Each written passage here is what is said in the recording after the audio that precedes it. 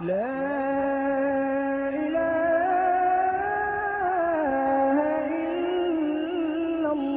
إن الحمد لله نحمده تعالى ونستعينه ونستهديه ونستغفره ونتوب إليه. ونعوذ بالله من شرور أنفسنا ومن سيئات أعمالنا. إنه من يهده الله فلا مضل له. ومن يضلل فلا هادي له. أشهد أن لا إله إلا الله وحده لا شريك له. وأشهد أن محمدا عبد الله ورسوله وصفيه من خلقه صلى الله وسلم وبارك عليه وعلى آله وصحبه ومن سار على هديه واستنى بسنته واقتفى أثره إلى يوم الدين. عباد الله أوصي نفسي اولا وأوصيكم بتقوى الله تعالى. يا أيها الذين آمنوا اتقوا الله ولتنظر نفس ما قدمت لغد. واتقوا الله إن الله خبير بما تعملون. ولا تكونوا كالذين نسوا الله فأنساهم أنفسهم. أولئك هم الفاسقون. لا يستوي أصحاب النار وأصحاب الجنة. أصحاب الجنة هم الفائزون. فاللهم اجعلنا من الفائزين. سبحانك ربنا لا علم لنا إلا ما علمتنا إنك أنت العليم الحكيم.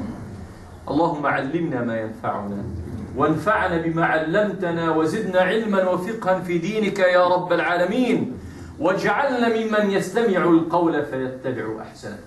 أيها الإخوة المؤمنون تابعتم جميعا تلك المجزرة الشنعاء. ذلك الإجرام وتلك الإبادة التي حصلت في حق إخواننا في حمص. جريمة شنعاء بكل المقاييس. تقشعر لها الأبدان وتتألم لها القلوب. وليس لنا إلا أن نقول حسبنا الله ونعم الوكيل. هذه الجريمة التي مات فيها ما لا يقل عن خمس وخمسون طفلا. وعددا كبيرا من النساء ولا ندري كم من الرجال. وقد أثبتت الشهادات والتقارير أن أكثرهم قتل قتلا مباشرا. صفي. يقتل الإنسان مثل الخروف مقيد. والله يا إخوة هذا العمل البشع لم نسمع به إلا في مجازر التتار أو في مجازر الصرب التي فعلوها في حق إخواننا في البوسنة هذه هذا التصنيف. ليس لنا أي تصنيف آخر أن نقول ما هذا؟ إلا هذه جريمة إبادة نكراء علينا أن نستنكرها. وعلينا أن نشتكي إلى الله عز وجل. وأن نرفع الأكف إليه متضرعين. أن يرفع ما بإخواننا من سوريا من ظلم وضيم ونار يكتوون بها يوما بعد يوم. العدد الآن إخواني وهو متصاعد. 15 ألف قتيل في سوريا. كم من القرى دمرت وكم من البيوت حرقت وكم وكم الله تعالى بذلك عليم. نسأل الله عز وجل أن يلطف بهم وأن يخفف عنهم وأن يكون لهم عونا ونصيرا وأن يرفع ما بهم من أذى وما بهم من ظلم وأن يوفقهم وأن يدافع عنهم سبحانه وتعالى. ومما يزيد ألما وحسرة إخواني أن هذه الجريمة وهذه المذبحة تقع في شهر حرام. شهر حرام! وهذا خط موضوع خطبتنا أيها الإخوة. حتى نعرف هذه الأشهر ونعرف حرمتها ونعرف مقامها عند الله سبحانه وتعالى ونعلم قدسيتها. ما علينا أن نكون من الغافلين. وما علينا أن نكون ممن ينتهكون حرمات الله عز وجل. ولذلك إن أردتم أن أمثل فأقول حينما نذهب إلى كل البلدان في العالم نأتي إلى منطقة يقول لك منطقة عسكرية. انتبه هذه المنطقة عليك أن تتعامل فيها بشيء من المعاملات في أشياء ممنوعة التصوير ممنوع كذا ممنوع كذا ممنوع أو أنك تصل إلى حدود بلاد معينة وهذا معروف. تمهل كذا كذا كذا هذه قوانين وضوابط الذي يتعداها يناله العقاب لماذا؟ لأنه أخبر بهذه الحرمات بهذه الحدود بهذه الضوابط مجرمي سوريا وسفاحيهم ومرتزقتهم وعصابات الإجرام في سوريا لا تعلم لهذه الأشهر حرمة. لا تعلم حرمة البيوت وحرمة النفس وحرمة الأطفال وحرمة النساء. لا تعظم أي حرمة. لذلك نحن علينا إخواني أيضا أن نتعلم وأن ننضبط أن نعرف مقام هذه لأن الإنسان المؤمن من علامات إيمانه كما ذكر القرآن هو تعظيم شعائر الله. ذلك ومن يعظم شعائر الله فإنها من تقوى القلوب. الإنسان حينما يدخل المسجد يعلم أن هذا المسجد له حرمة. حينما يأتي الشهر الحرام يعرف أن هذا الشهر له حرمة. حينما يكون في مكان يعني له حرمة يقدس ويحترم تلك الحرمة وهذا من علامات الإيمان. الإنسان السفيه والغافل والجاهل والمتعدي لحدود الله فإنه لا يقدس هذه الحرمات بالمرة. وهذا حال حال هؤلاء المجرمين في سوريا. لا يعظمون حرمة النساء والأطفال والبيوت ولم يعظموا ولم يحترموا ولم يقدروا ولم يراعوا حرمة هذا الشهر. هذا الشهر شهر رجب. شهر رجب أيها الإخوة نقف بداية عند تعريفه. من أين أتى الاسم؟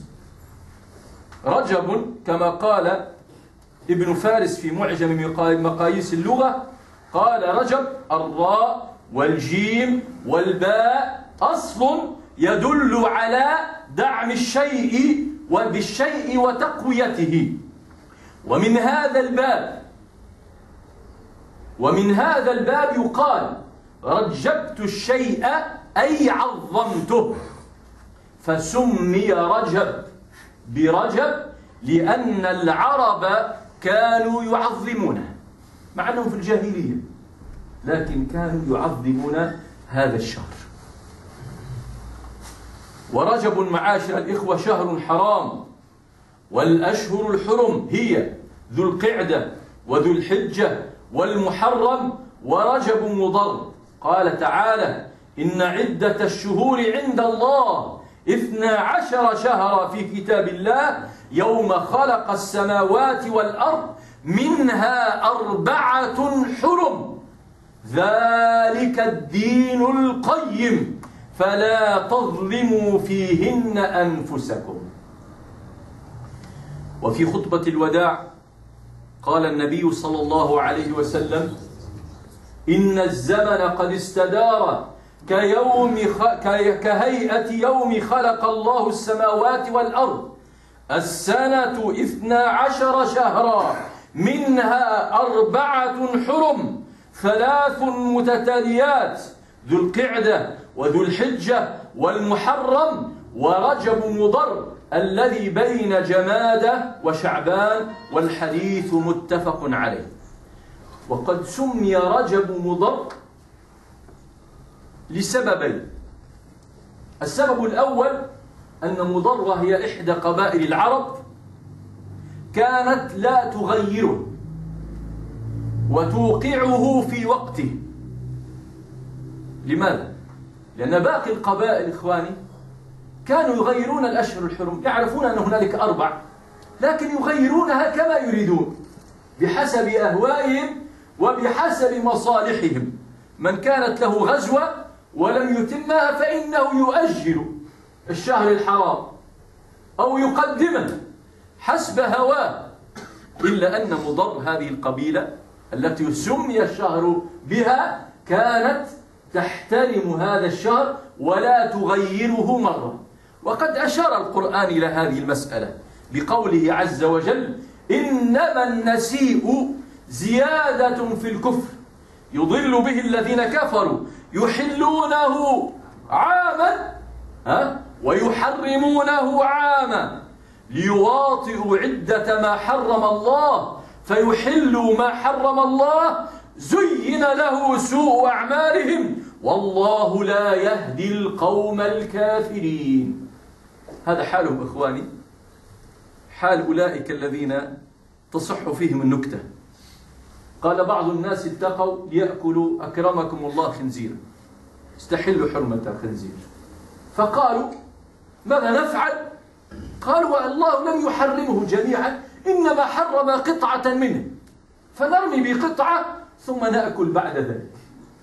هذا حالهم حال أهل الجاهلية. وحال بعض الناس اليوم أيضا يأتي فيقول هذه عواشر. في هذه عواشر إذا الخمر حرام والزنا حرام والمحرمات هذه هذه الأشهر علي أن أضبط نفسي. ها؟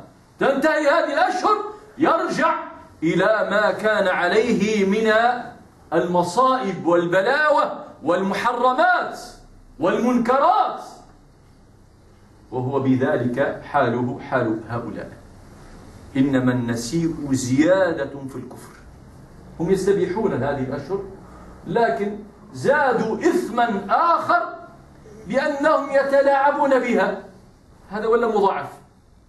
هم هذه الأشهر لا يحترمونها ومع ذلك يتلاعبون بها.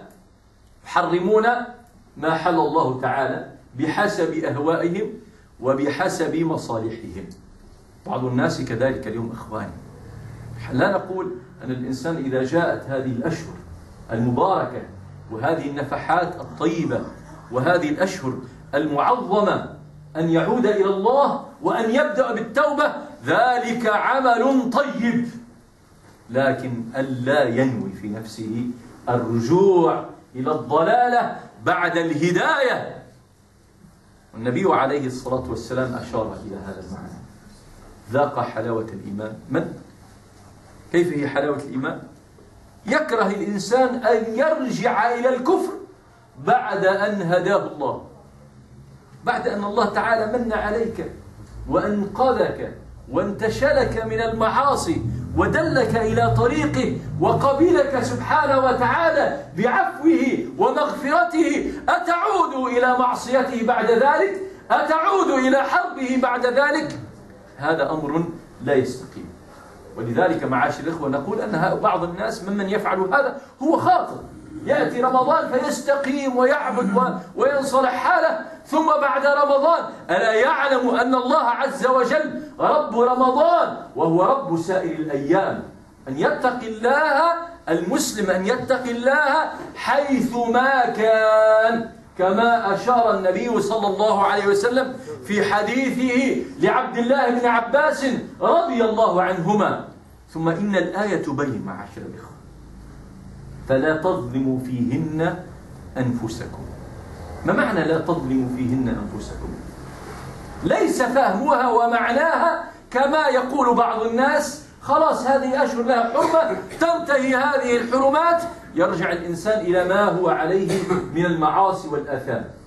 إنما الظلم حرام على كل حال وفي كل مكان لكن تزداد حرمته ويزداد التغليظ في عقاب من أتى ظلما من أتى إثما لأنه تعدى حدود الله سبحانه وتعالى.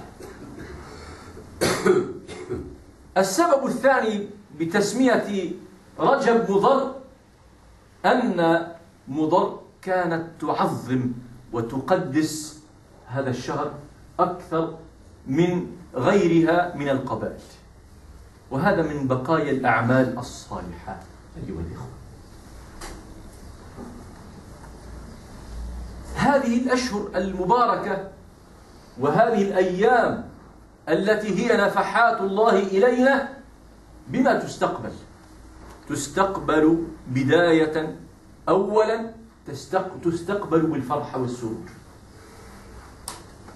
هذه نفحات الله هذه أيام الله سبحانه وتعالى.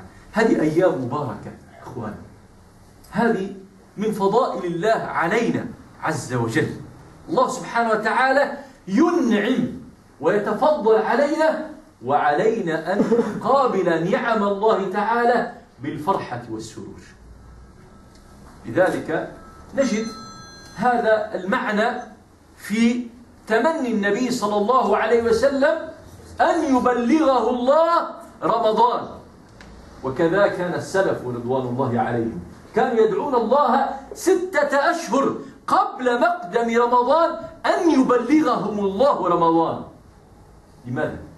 هذه قلوب حية إخوان هذه نفوس انشرحت لدين الله وتعلم مقام ومكانة هذه الأيام المباركة لذلك معاشر الإخوة علينا أن نسر وأن نفرح بنعمة الله عز وجل علينا لماذا؟ لأن بعض الناس ماذا يقول لك؟ يقول لك الإسلام كله فيه حرام وإثم وكذا وعقوبات و و و وغضب من الله وكذا وكذا وتهديد ووعد ووعيد.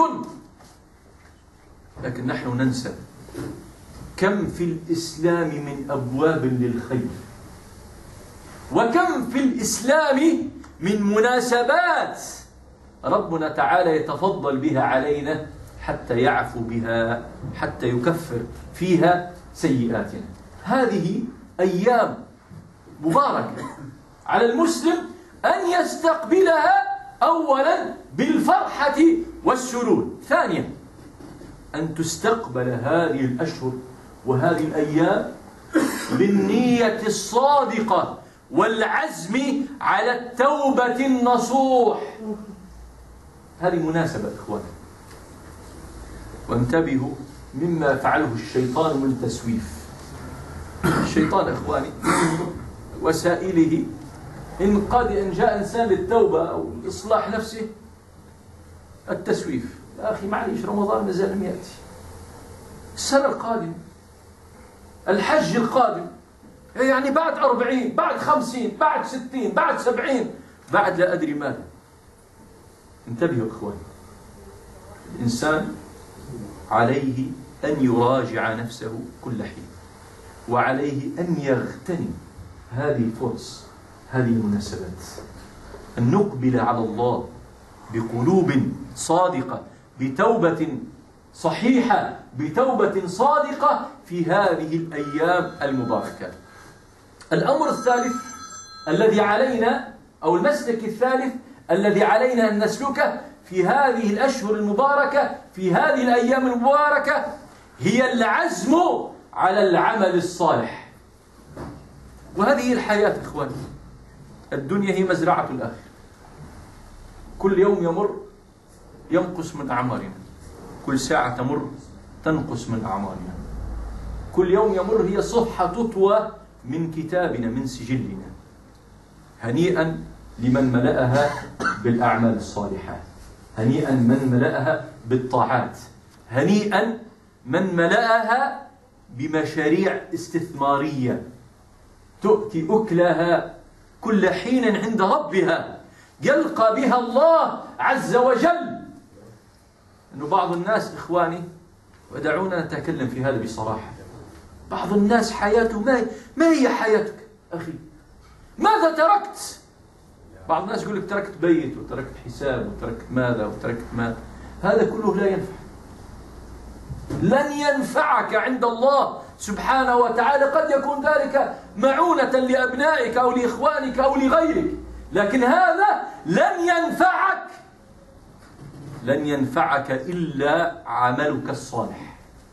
لن ينفعك إلا ما زرعت لآخرتك.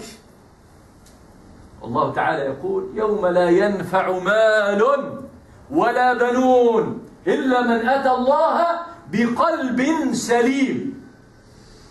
وآيات أخرى تبين أن الآخرة هي مزرعة هي هي هي الدنيا مزرعة الآخرة. وإذا الإنسان في الآخرة يحصد ما قدم وما عمل. فعلينا معاشر الإخوة أن نغتنم هذه الفرص.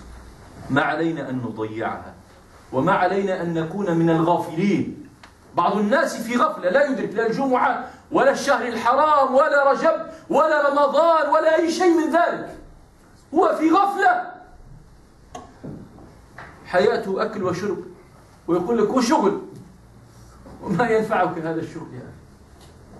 نعم أنت تسر به حالك وهذا مطلوب والإسلام يأمر بذلك. لكن أين عملك الآخر؟ أين عملك الآخر؟ ماذا تركت في هذه الدنيا؟ أين بصمتك؟ أين مشاريعك؟ أين مشاريعك؟ كم إنسان هدي على يديك؟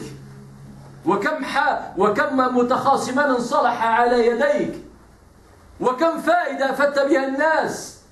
وكم خير نفعت به الناس؟ وكم كلمة طيبة قلتها؟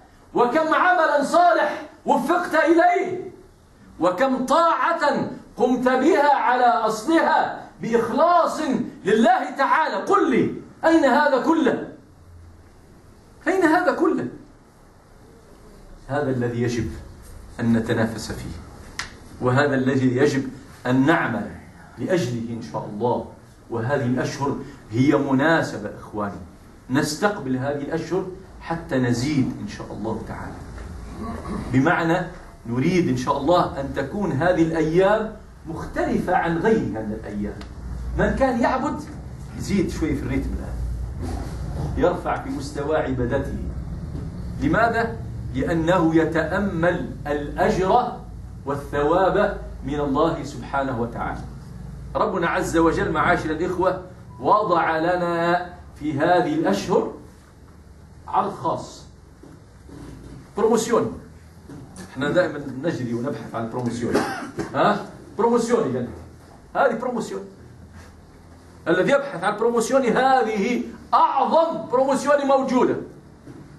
هذه الأشهر معاشر الإخوة رب العالمين يضاعف فيها الأجر كما أنه يضاعف فيها الإثم. انتبه دير بالك. الأمر ذو حدين. اتق الله. راقب نفسك. عظم حرمة هذه الأيام. اتق الله. راقب حالك. راقب ما تنظر راقب ما تقول راقب ما تسمع طهر قلبك. تعظيما لحرمة هذه الأيام المباركة. إذا على المسلم أن يزيد وأن يكثر من الطاعات وأن يكثر من الفضائل وأن يكون عملنا جميعا تسابقا في الخير.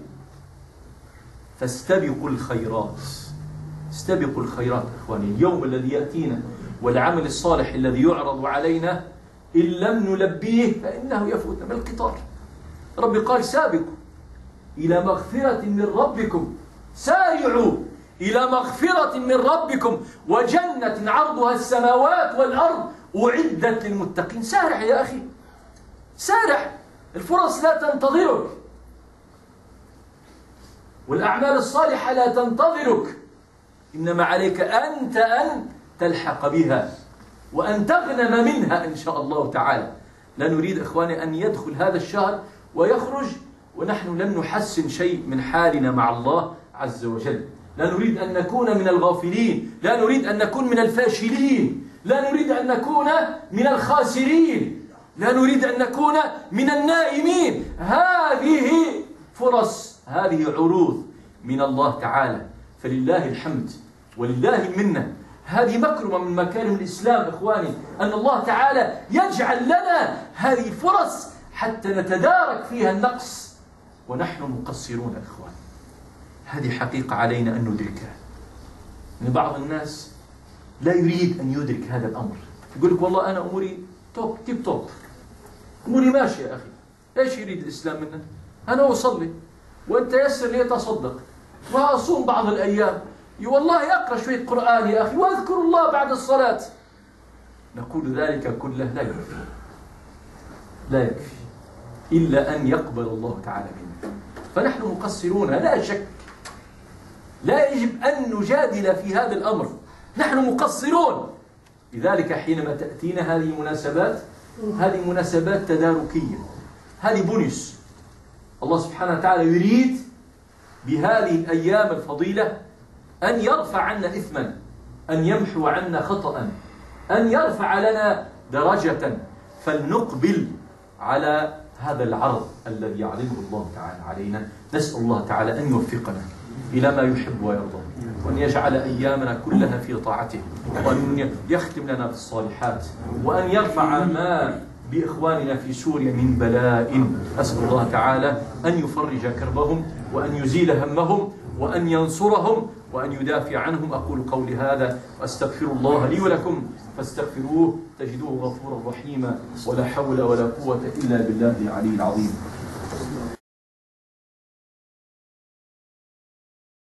الحمد لله رب العالمين. وأصلي وأسلم على المبعوث رحمة للعالمين وعلى آله وصحبه أجمعين ومن تبعهم بإحسان إلى يوم الدين Cari fratelli, avete seguito tutti questo crimine al grande, questa tragedia, questa... non trovo i termini davvero, quello che è successo in Siria contro un villaggio dove sono stati uccise almeno 55 bambini, tanti donne e non si sa quanti uomini, tanti di loro sono stati eliminati e sono stati, come si dice, collegati con peggio di animali. Davvero non trovo i termini di descrivere questo crimine. Questo ci fa ricordare solo ai crimini che sono stati fatti nel nel, nel passato di Tatar, di quel popolo, di quella razza come aggressori, solo si può pensare a questo, a quello che hanno fatto i tatari o quello che hanno fatto i serbi in Bosnia. Una cosa del genere, non è lontana. Un omicidio alle grandi, uccidere i bambini, uccidere le donne. Non solo questo, quello che è peggiore ancora, sapere che questo omicidio, questo, questa eh, tragedia è stata fatta in un mese sacro nell'Islam. Davvero non c'è parola. Un mese sacro, questo nostro mese sacro, Rajab. Per questo noi chiediamo Allah l'Altissimo che ci dà quello che meritano quelli criminali. الذين طغوا في البلاد فأكثروا فيها الفساد فصب عليهم ربك سوط عذاب إن ربك لبالمرصاد Non abbiamo soluzione, abbiamo solo a fare il dua all'Altissimo Subhanahu wa Ta'ala di preservare il popolo siriano che si sta finendo. Adesso oggi le cifre parlano di 15.423 morti. Oggi saranno di più ancora, sicuramente. Dove andiamo? Allah solo a'lam. Finiamo un popolo che uno rimane al suo posto. Questa è la civiltà, questa è la democrazia, questi i diritti degli esseri umani. Quello che è ancora più grave, vedere che tutto questo succede in un mese sacro. È chiaro che quelli lì non sanno cosa vuol dire un mese sacro. Perché se hanno fede, se temono Allah, almeno c'è questi limiti. Dicono vergogna, uccidiamo bambini. Vergogna, uccidiamo donne. Vergogna uccidiamo civile. Vergogna uccidiamo persone anziane. Una vergogna uccidi- dis- dis- distruggere una moschea, una chiesa, una- una- una- un luogo di culto, un luogo di, di adorazione. Ma quelli lì purtroppo non sanno niente di questo. Perché la fede, come noi abbiamo fatto una serie di khutbah, si vede nel comportamento. Quando uno ha fede, come è stato descritto in Surat Al-Hajj, sa i valori di mesi sacri, rispetta la sacralità. Ad esempio, quando uno entra in moschea, sa che questa è una casa da Dio subhanahu wa ta'ala, ha le sue regole, ha la sua sacralità, è protetta da chi? Da Allah. Uno non si permette quando va a casa di altri a di fare quello che vuole fare. Ci sono regole da, da rispettare. E la casa di Dio, le moschee, ha questa sacralità. ذلك ومن يعظم شعائر الله فإنها من تقوى القلوب I bambini hanno una sacralità, le donne hanno una sacralità, l'anima dell'essere umano ha una sacralità, eppure i mesi sacri. Per questo noi vogliamo, inshallah ta'ala, prendere anche noi una lezione, sapere cosa vuol dire un mese sacro, per darlo il suo valore, inshallah perché questa è una delle frutti della fede giusta, profonda e corretta. Se noi rimaniamo solo a parlare noi. Noi vogliamo far sviluppare la nostra fede e vediamo e troviamo il suo gusto e troviamo i suoi effetti, i suoi frutti, inshallah ta'ala. Uno dei frutti della fede è rispettare quello che Allah subhanahu wa ta'ala gli ha dato un valore, una sacralità. Punto alla linea. Ho fatto in arabo un esempio, quando uno va a certi paesi sappiamo che ci sono frontiere, che ci sono zone, eh, diciamo, zone o militari o altro.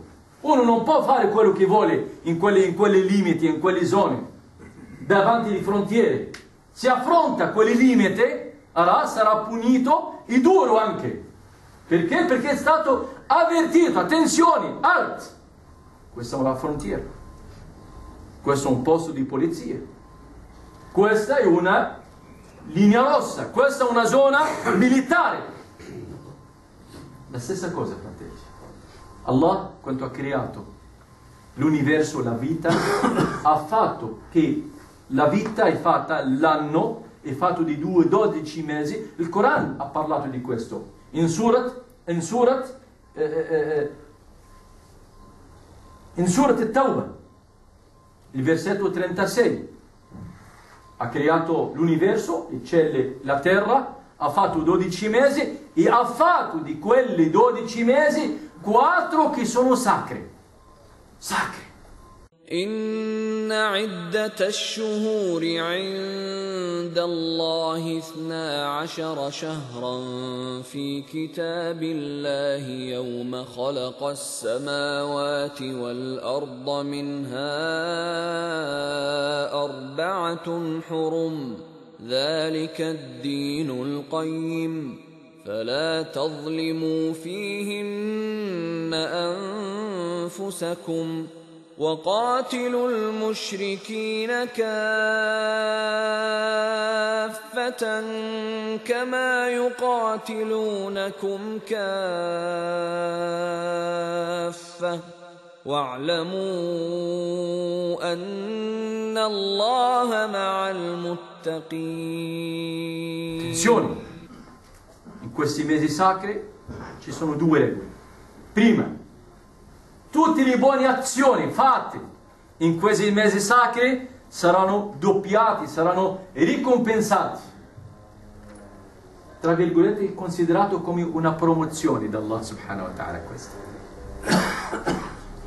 Perché tanti pensano che l'Islam tutto è castigo, tutto haram, tutto proibito, da destra, da sinistra, da dove va, haram, tensioni, peccato, peccato, peccato. Però guardiamo bene quanto è grande lo spazio del bene, delle ricompense, le buone azioni, le buone occasioni. I mesi sacri sono uno di questi. In questi mesi sacri vengano per noi come un regalo da Allah subhanahu wa ta'ala. Allah ci regala questi mesi, questi giorni pii, così noi, inshallah, cerchiamo di andare in alto, cerchiamo di moltiplicare le nostre buone azioni, cerchiamo di approfittare di fare quel che bene, perché in questi mesi saranno doppiate le ricompense. Per questo il musulmano, il fedele, deve accogliere questi mesi con quattro regole. Una, con la gioia. La gioia. Alhamdulillah. Allah subhanahu wa ta'ala ha fatto queste buone azioni per noi. Noi siamo peccatori. Noi siamo un po' lontani. Noi non stiamo facendo come si deve. Non stiamo praticando in modo perfetto la religione. Allora, allora arrivano queste buone azioni, buone occasioni per rimettere in ordine le cose, per moltiplicare le nostre buone azioni. Alhamdulillah, grazie a Dio subhanahu wa ta'ala. Guardate il profeta Muhammad sallallahu alaihi wasallam. Non ha mai desiderato, non ha mai sperato di avere una lunga vita solo in un solo dua, dicano i sapienti dell'Islam, quanto ha chiesto Allah di prolungare la sua vita finché vive il mese di Ramadan. Compagni sue, radiallahu anhum, sulla stessa linea, facevano dua sei mesi prima di Ramadan. Oh Dio, ci fa vivere fino all'arrivo di Ramadan. Cosa vuol dire tutto questo? Un shauk, un, una gioia. Uno cerca queste buone azioni. Uno aspetta con gioia queste buone occasioni da subhanahu wa ta'ala. Guardiamo bene nella vita, quando c'è promozione tutti andiamo a cercarla. Non è haram. È vero, buono che uno cerca le buone occasioni, si sono giusti, corretti. E per la religione, certi vivono, non sanno neanche che questo è un mese sacro. Non sanno il valore del mese sacro, non sanno il valore di, di, del giorno del, del Jumu'ah, non sanno il valore del, della festa. Dormono. Dove sono? Non lo so la testa dove. Mentre il musulmano si interessa a queste cose, cerca di capire, ma il giorno del venerdì cosa vuol dire il venerdì? Che valori ha il venerdì? Nel venerdì c'è un'ora dove il dua è accettato da Allah Azza wa Jal. Io cerco di trovarla, inshallah ta'ala. Adesso è arrivato questo mese sacro di Rajab. Alhamdulillah. Bene. Bismillah. Comincio a lavorare, inshallah ta'ala. Comincio a moltiplicare le buone azioni. Cambio il mio ritmo. Adesso metto il turbo. Cerco di avere più hasanat, inshallah ta'ala, in questi mesi. Questo il musulmano. Questo il credente. Noi non siamo fatti, fratelli, non siamo creati per mangiare, dormire, lavorare lavorare bene, dobbiamo lavorare per dunya, ma dobbiamo lavorare anche per l'akhira, per l'altro giorno. Importante questo. Non solo lavorare per dunya. Bene lavorare per dunya, questo è un obbligo. Lavorare anche, soprattutto per l'akhira, per l'altro giorno. Noi andiamo a incontrare Allah subhanahu wa ta'ala con cosa? Con cosa? Con i pochi rak'a che facciamo?